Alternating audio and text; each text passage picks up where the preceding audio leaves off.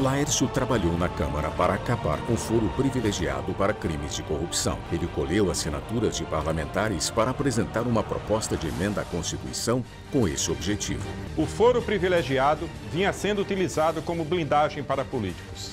Quem é honesto não precisa de foro privilegiado.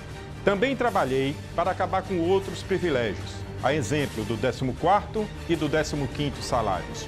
Logo que assumi meu primeiro mandato, renunciei a essa remuneração e ainda atuei para acabar com esse privilégio para todos os outros parlamentares. O fim desse privilégio representou uma economia de 31 milhões de reais para os cofres públicos anualmente. Eu sou Laércio, deputado federal 1111, governador Belivaldo 55.